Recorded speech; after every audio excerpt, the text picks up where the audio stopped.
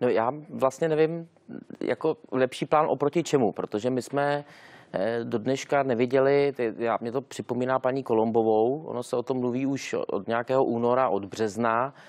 Eh, my už jsme některá opatření eh, navrhovali dokonce na konci loňského roku, kdy, kdy začalo, začaly skokově růst ceny, ceny energií. Některé naše návrhy Eh, jsou doteď eh, spí v poslanecké sněmovně a eh, vládní většina se jimi nechce zabývat, aby potom jeden z nich oprášila, což je to odpuštění to poplatku za poze za podporu obnovitelných zdrojů, což jsme navrhovali už v únoru.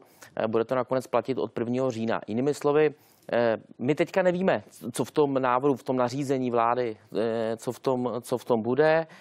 Bude to snad do konce srpna, takže už od března tady neustále běhají nějaká čísla, což samozřejmě pro ty lidi, když se s nimi bavíte na ulici, tak je nepříjemné, protože oni nevědí, vlastně, jaké bude opatření, jakého charakteru, koho se to bude týkat. Dneska dokonce eh, na vládě, na tiskovce pan premiér eh, úplně mystifikoval veřejnost, když řekl, že eh, vláda podpoří všechny, kteří mají náklady na bydlení větší než 30% a 35% v Praze, což je úplný nepochopení. K tomu se možná dostaneme, protože to asi měl na mysli, nevím, já předpokládám, že jenom je to neznalost normativní náklady na bydlení, ale to zase určuje vláda.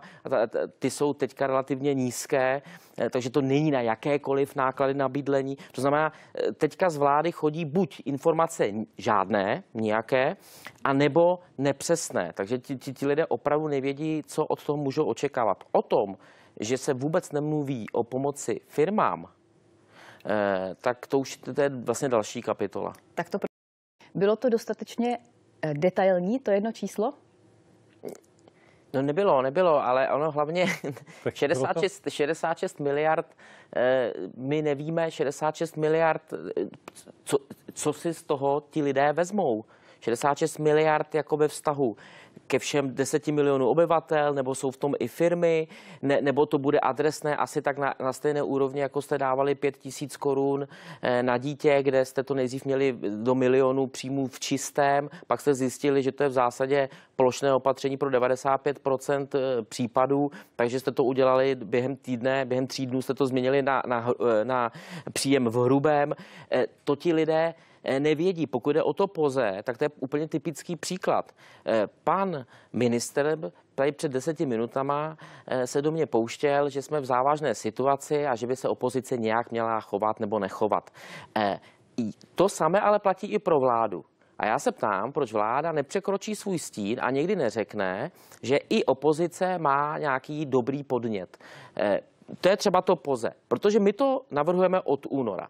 Vláda s tím přišla eh, já nevím, kdy poprvé před měsícem, před 14 dny, bude to platit od 1. října.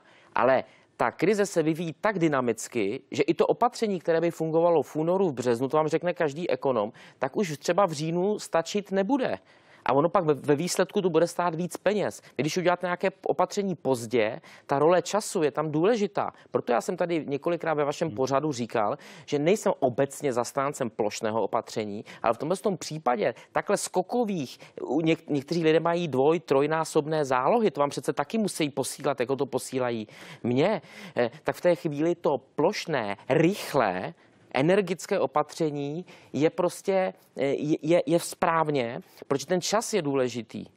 Hmm?